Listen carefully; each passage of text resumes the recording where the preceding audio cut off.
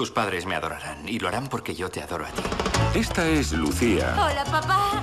Hola, cielo. Y esta es su familia. Dame las llaves de la otra grúa, yo remolcaré los coches. Sabes que ya no hay que pedalear, ¿verdad? Los tiempos han cambiado. Este es Marcus. ¿Qué tal, papi?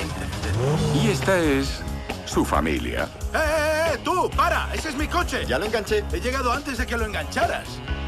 ¿Qué pasa? ¿Estás sordo? El cuate dice bye bye.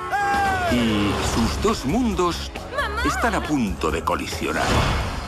¿Tú? ¿Te llevaste mi coche? ¿Qué más da, hermano? Hermano, no soy tu hermano, cuate. ¿Cuate? Papá. ¿De qué Papá. vas? Papá. Es que...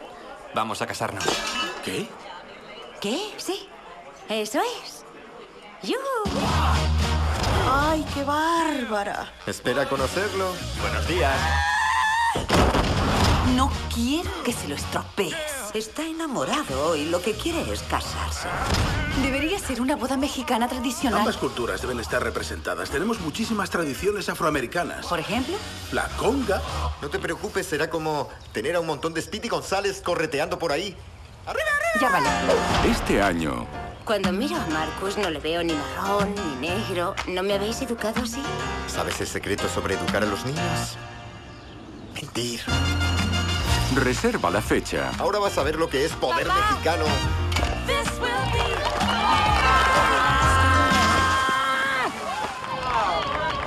Porque este es un banquete nupcial que no querrás perderte.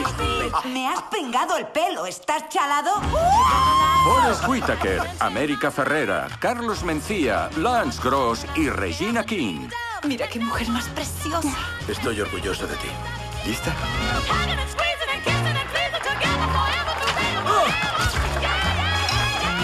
La cabra es para la celebración mexicana. ¡Para, para, para! La boda de mi familia. Hay una cabra en mi cuarto de baño. Se está comiendo mis viagras. ¡Ah! ¡Ay, eh, eh, eh! ¡Estás...